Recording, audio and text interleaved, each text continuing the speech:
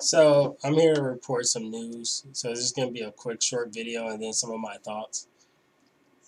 So Bethesda, you guys know who Bethesda is. They used to make, well, they arguably, I guess you could say, they still make some great games. But lately, they've been killing their reputation. Um, they have basically taken original content from the shitty game Fallout 76. Yes, I called it shitty and they are taking that content and reselling it as a micro transaction as five dollars. Now, um, this has been done before. They're doing the same thing that uh, Konami did with Metal Gear Survive. I will get to that in a second, but let's first talk about this huge deal. So I feel sorry first off for the people who bought the game when it first came out. Fallout 76 is a blatant cash grab. It is not a complete game. It's just servers are terrible at launch. The game itself makes no sense.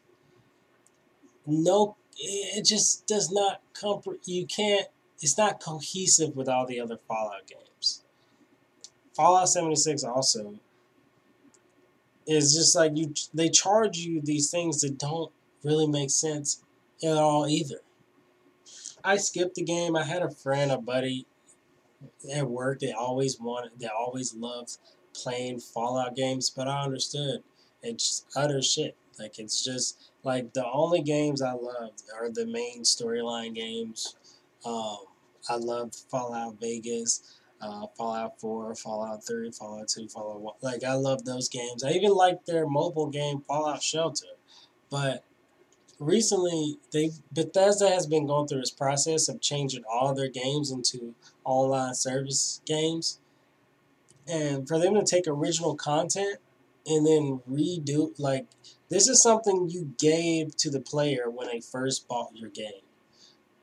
And then you take it and turn it into a microtransaction. So the feature's taken out and then they have to rebuy it. What the fuck? Talk about sucking, milking your fan base and you're killing your franchise at the same damn time. What the hell is going on, Bethesda? What are you doing? What the fuck? Have you not seen what EA has went through? They're trying to build their reputation. Maybe they can with Star Wars uh, Fallen Order, Jedi, the Fallen Jedi Order or something like that. I think it's going to be a great game. But you can't, like, EA suffered a lot from that Star Wars Battlefront 2 Fallout. So, Bethesda, get your shit together before Fallout becomes a Fallout. Before it just becomes trash. Okay? Get shit done. Okay. Get it. Do make a good game and leave it at that. Stop fucking milking money. Stop trying to siphon every fucking dollar from the consumer, from a game, from a gamer. It's just so disgusting. It's so egregious. And I just simply don't have any tolerance for it. And if I have to make a video and voice my opinion, fucking so be it. Okay? Now let's get to Metal Gear Survive. If you guys are wondering well, how did this happen? What did Konami do? Well, and arguably, what Konami did was worse. so, literally, in Metal Gear Survive, they made you pay five dollars. I think it was, or was it ten? I don't remember. You had to buy this in-game currency. I think I think it was in-game currency. Maybe it was real money, whatever. But you had to buy your save game slots. I shit you not you had to pay money, real money, to save your game data.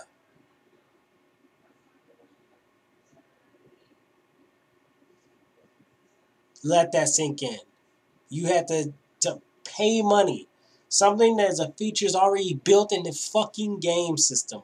They turned it into a profitable, or, it wasn't profitable. The game failed too. They turned into a shitty microtransaction. This is similar in a way. You taking a you taking content that was originally available and then making it something that can be sellable. That's basically what Bethesda's done with Fallout 76. But I will say Metal Gear Survive was worse. Because they took a core fucking functionality from the hardware itself, flipped it so you can buy it, so you can use the feature. Well, that speaks with my money all the way. I'm gonna take that game out, break that shit, throw it in the trash, take another game, stick it in, and there you go.